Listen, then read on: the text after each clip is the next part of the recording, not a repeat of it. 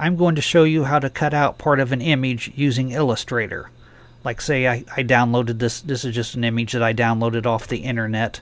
It's just an image full of leaves and say that I wanted to use one of these leaves for a project or something and I just wanted the leaf. The way I would do that, you got to open up Illustrator of course. Go up to File, Open, find your image, open it up. I'm going to press Control minus a couple times, bring down the size of my artboard. I'm going to click on my image and at the corner I'm going to hold down shift, drag it out, make my image a lot bigger.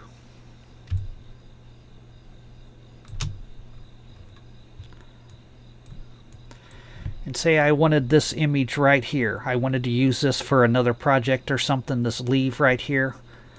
The way you do that is I'm going to zoom in a little closer here on that leaf. Hold down control, hit the plus. Make that nice and big. Drag him up here where I can see him. You will open the layers panel. If you don't see the layers panel, you just go up to window and down to layers right there. Just open the layers panel, lock the first layer, go down to the bottom where it says create new layer. Click on that. Make sure your new layer is the one highlighted. I'm going to go ahead and close this for now. Then you will go to your pen tool. The pen tool the keyboard shortcut you, you can find it over here in the toolbar but the keyboard shortcut is P. You just press P. We want to go over to our fill and we want to make sure there is no fill click the box with the uh, cross through it there's no fill or no stroke.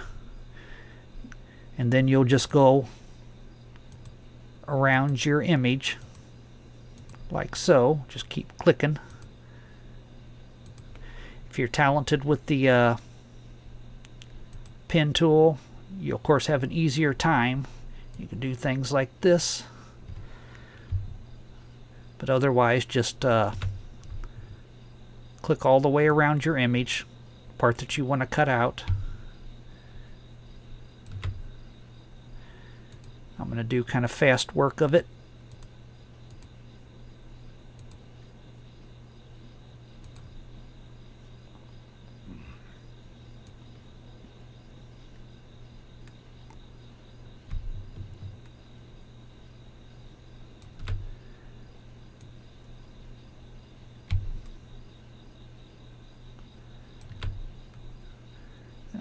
Then you go up and you click on your uh, original starting anchor point. That closes the image off, closes the shape off. Then